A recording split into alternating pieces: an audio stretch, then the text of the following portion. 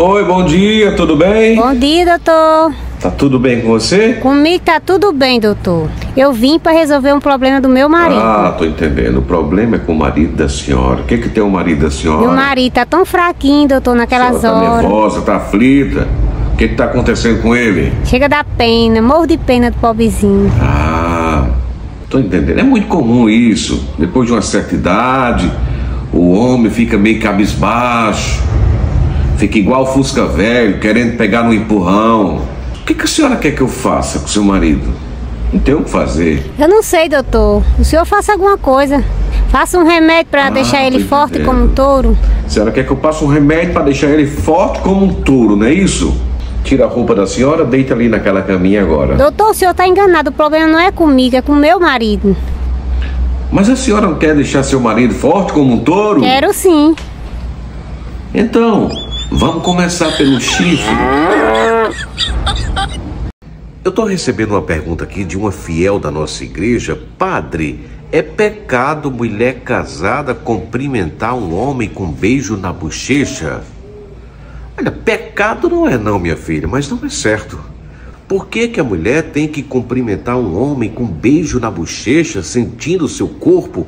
Não há necessidade para isso. Você pode ser simpática, oi, bom dia, boa tarde, boa noite, mas não há necessidade. Até porque tem muitos homens que gostam de se aproveitar, principalmente na hora do abraço. Muitas vezes ele quer sentir o Zeberg, então muito cuidado nessa hora. Não há necessidade, nem mulher solteira. Tem pra quê essa coisa de estar dando beijo em bochecha? Simpatia sempre, tá bom? Teve outra que disse: Padre, o meu marido adora tirar minhas fotos de lingerie e postar na rede social dele. O que, que o senhor acha? Para com isso, meu filho. Isso é pecado. A intimidade do casal tem que ser preservada, tá bom? Próximo! Bom dia, doutor. Bom dia, tá tudo bem com a senhora? Tá bem não, doutor. Eu vim fazer uma tomografia. Ah, a senhora veio marcar o exame. Ah, Acho que a tomografia, não é isso? Olha, infelizmente a máquina tá quebrada. A máquina tá quebrada Já de faz novo, seis doutor. meses, viu? Eu vim aqui há seis meses atrás, estava É, eu quebrada. lembro, a senhora marcou aqui, tá com uns oito meses já. e agora, como é que eu Deixa eu faço, ver aqui a doutor? lista aqui, ó.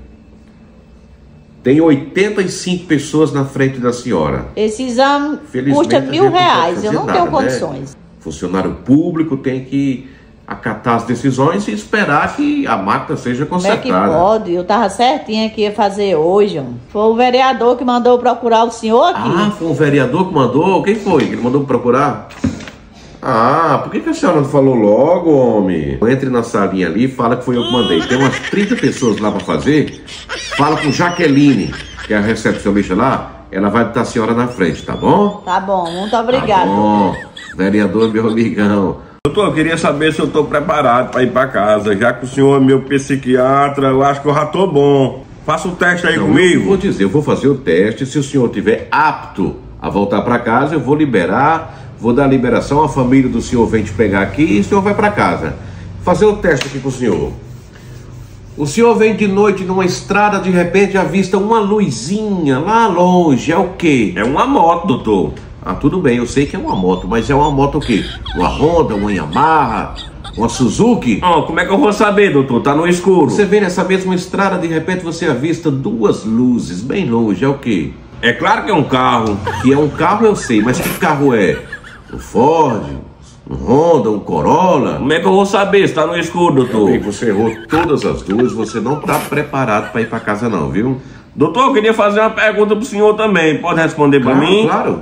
Pergunte. Doutor, você vai passando em frente a uma pracinha, tem uma mulher com um shortinho bem curtinho, com um decote, rodando uma bolsinha. É o Você quê? garota de programa? Eu sei que é garoto do programa, mas eu quero saber se é sua irmã, sua mãe, suas primas.